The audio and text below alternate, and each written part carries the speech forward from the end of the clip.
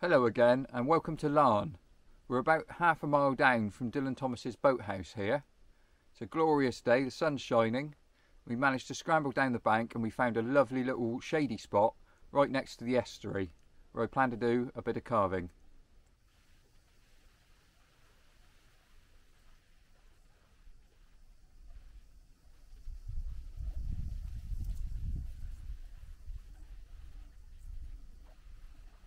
I'm making a start on this walking woodcrafters sign for my carving room. It's um, going to be carved in cherry wood and it's going to have walking woodcrafters in text here. It's going to have um, hiking boots, footprints walking up through here and Shappy's paw prints, our dog, walking up through here. As I've said in my previous videos, I've never had any formal training on wood carving so everything I do is self-taught. The lettering is no different to this. Um, I've played around with different methods and this is the one I've finally settled on. Again, there are several ways of um, setting out for doing lettering. Uh, this is my preferred method. So I mark out a centre line through here and another centre line so I've got crosshairs and then I get the piece of uh, paper that I'm going to trace on there and I do the same. So I mark out crosshairs on that right in the center of where where it's going to be and then I use sellotape and stick that over the crosshairs. And I know then that that's absolutely bang on in the middle and correct this way. If you were a tr true purist um, you'd be marking out the um, lines exactly where you want the letters, section them off, and then hand drawing the letters in. Uh, life's too short for that. I've got way too many carvings that I want to do. Um, so I do this method. Uh, printer, print it off, and then um, pop me carbon paper underneath, and then pencil over the top. You can um, use a laser printer and put the just print it off, put it on top, and then um, put heat on, and then that leaves the ink on the boards. I haven't got a laser printer, um, another expense. Um, so this is the method that I use. So we've got a standard um, inkjet printer, and uh, yeah, like I say, I use the carbon paper underneath. The reason I use the sellotape, which is quite important, is that um, it keeps it in exactly the same place. So I can do it all and every time you can guarantee that one part of it doesn't come out uh, and, and, then you can put it back on knowing that you're going to be in exactly the same place again as long as you keep it all level and then you can draw it in again and, and, and you get it. So I do that first. Once I've got that in uh, I've got a pretty good idea where it is and then I go over with a pencil and sometimes a ruler depending on how bad it's come out and then um, draw it in over the top so I'll make a start on that.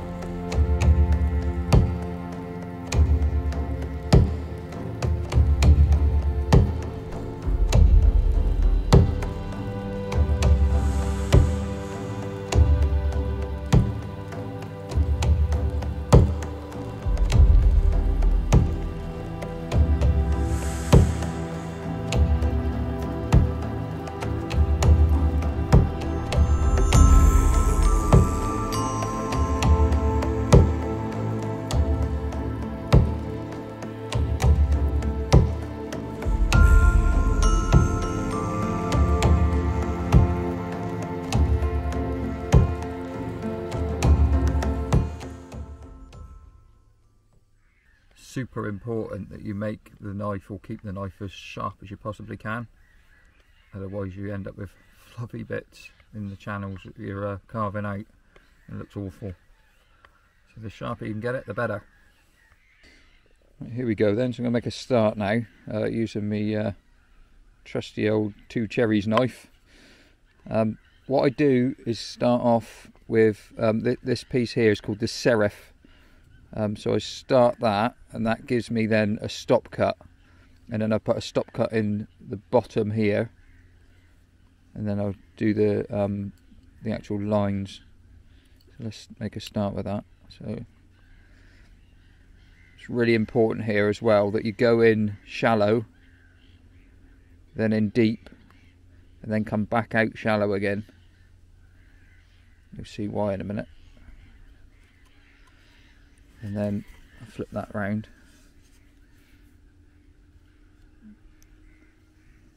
And then I put that stop cut in there.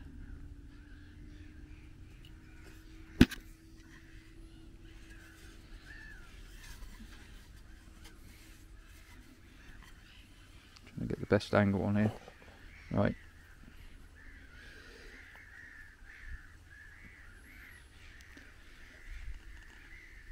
As I said the other day with something I was doing, the best thing to do is to look a few mil in front of the blade. If you're looking at the blade, you'll end up with the blade wandering off. So I'm going to go across that again, gently, just to make sure that it's got the full cut. I'm going to flip that around again.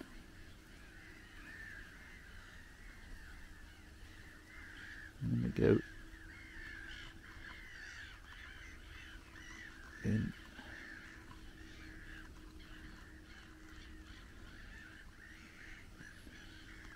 Right, so I'm going to go that far because I haven't put this one in yet. There's no stop cut the bottom, so stopping here. So what I'll do is I'll put this serif in now. So I put the blade right in the bottom of the channel on that angle and then I twist around and up.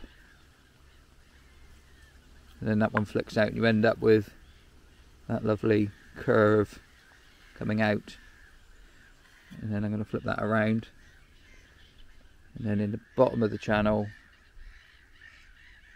around and up. And that gives you that just put a little stop cut in there. It's only going to be a tiny, tiny one in there. And I'm going to flip around again.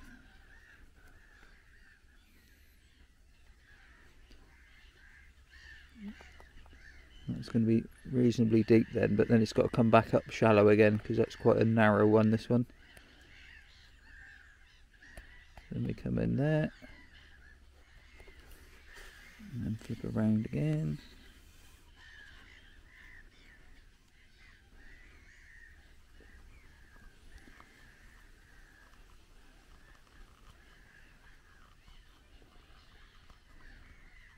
Hopefully all that should fall out then.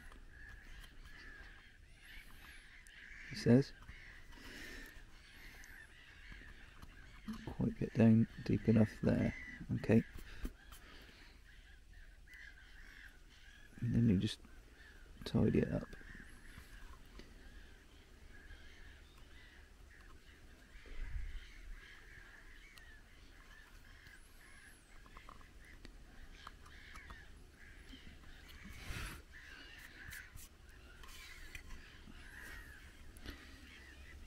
really happy with that bit there? So we can flick that out. There we go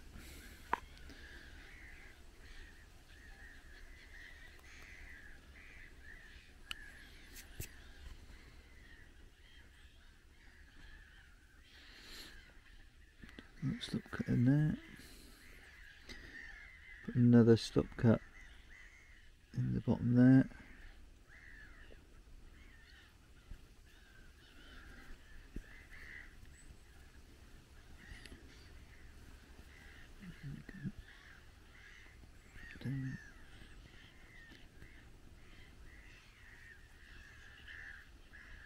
Stop there. And again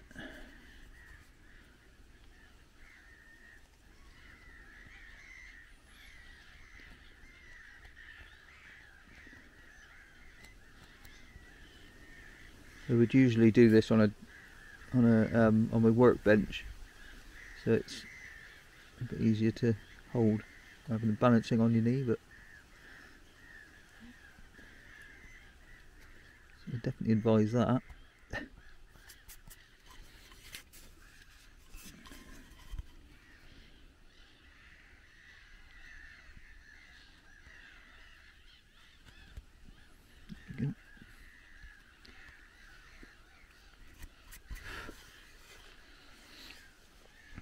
Serif in there.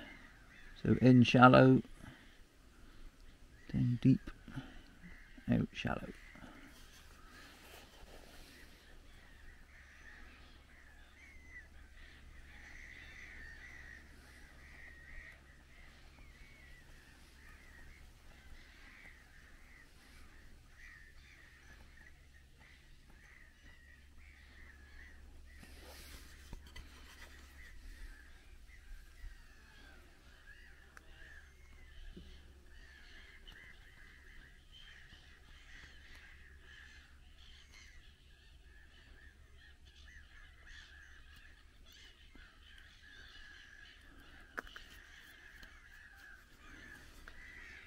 Got the tide going out here and all those birds are down right on the water line jostling for position for their dinner I think.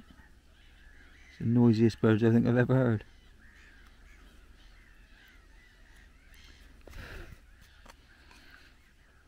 Didn't quite get that one out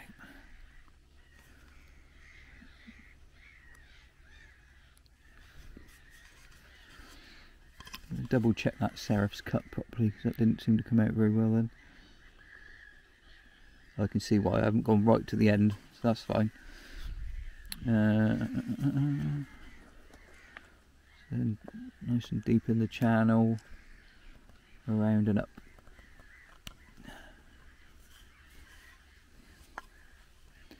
Nice and deep in the channel, around and up.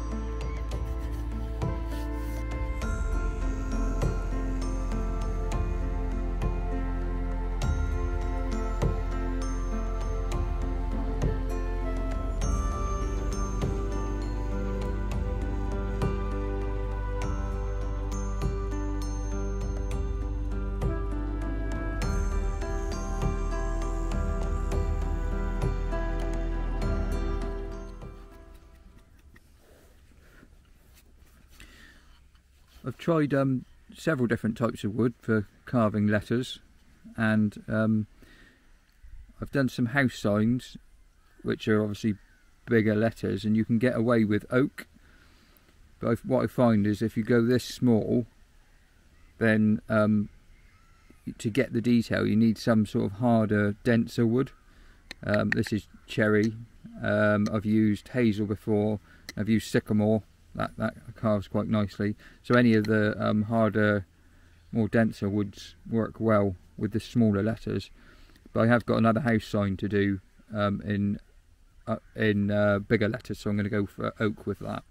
So that should be fine.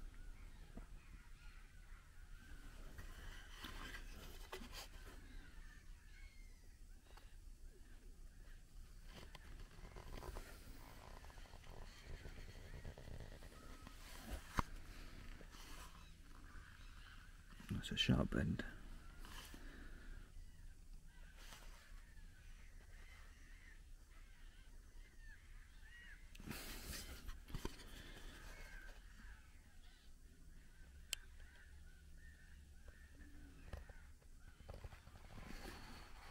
You notice I'm moving the board as much as I'm moving the knife. That helps you to get around some of these really tight bends. I'm also drawing the knife out when you're trying to go around the sharp. There we go.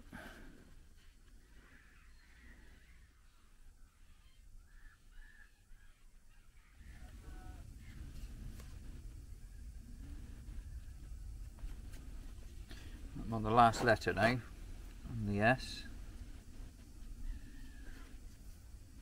I think what we'll do, Shappy's been a really good boy, as always, but it is quite hot today, so I think what we'll do is we'll finish this video off in a part two, and I will um, put the footprints in, and paw prints, and uh, we'll retreat now into Laugharne and have a little look round Laugharne. And we'll call that a day.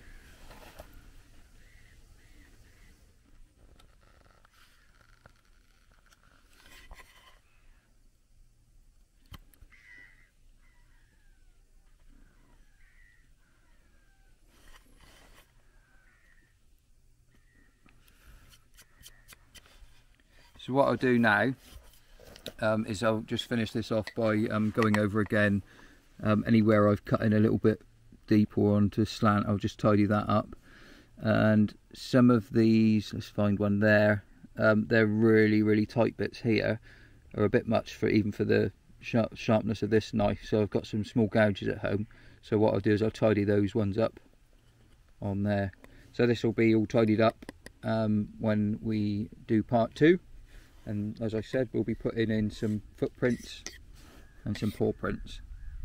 But off to Laugharne now